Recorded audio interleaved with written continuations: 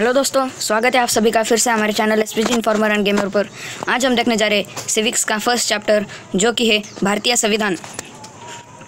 देखिए, प्रश्न पहला, राष्ट्रवादी आंदोलन ने इस विचार का समर्थन किया कि सभी वयस्कों को मत देने का अधिकार होना चाहिए। क्यों? उत्तर, क्योंकि सभी वयस्क नागरिकों का निर्णय प्रक्रिया में भागीदारी देने के लिए है।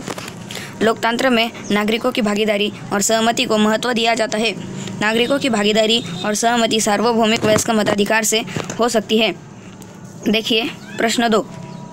बंगाल में 2004 के संसदीय चुनाव क्षेत्र का नक्शा दिया गया है। इस नक्शे में अपने राज्य के चुनाव क्षेत्र को पहचानने का प्रयास करें।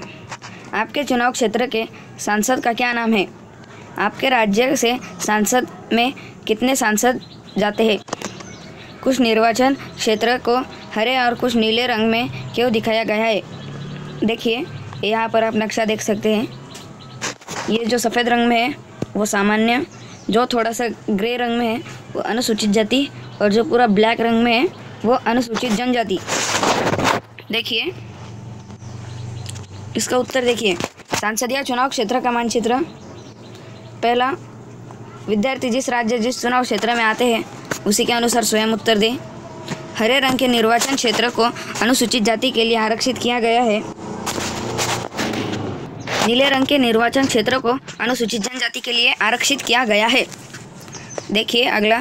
अध्याय एक में आपने पढ़ा था कि भारत में प्रचलित संसदीय शासन व्यवस्था में तीन स्तर होते हैं। इनमें से एक स्तर संसद, केंद्र सरकार तथा दूसरा स्तर विभिन्न राज्य विधा विधायिकाओं, राज्य सरकारों के लिए होता है। अपने क्षेत्र के विभिन्न प्रतिनिधियों से संबंधित सूचनाओं के आधार पर निम्नलिखित तालिका भरें। देखिए, यहाँ पर ऊपर एक खाली तालिका दी है और नीचे उसके उत्तर दिए हैं। पहला देखिए, कौन सा राजनीतिक दल अभी सत्ता में है? केंद्र सरकार का राजनीतिक दल तो अभी भाजपा है। आप अपने राज्य के अनुसार लिख सकते हैं। हमारा राज्य जो कि महाराष्ट्र है, उसमें अभी शिवसेना का दल है, शिवसेना सरकार। आपके क्षेत्र में निर्वाचित प्रतिनिधि कौन है? आपने लोकसभा के क्षेत्र के अनुसार छात्र स्वयं करें।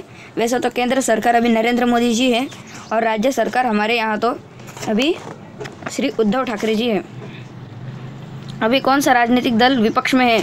पिछले चुनाव कब हुए थे? राज्य के अनुसार छात्र स्वयं करें। केंद्र सरकार 2009 में। अगले चुनाव कब होंगे? राज्य सरकार अपने राज्य के अनुसार छात्र स्वयं करें, केंद्र सरकार 2014 में।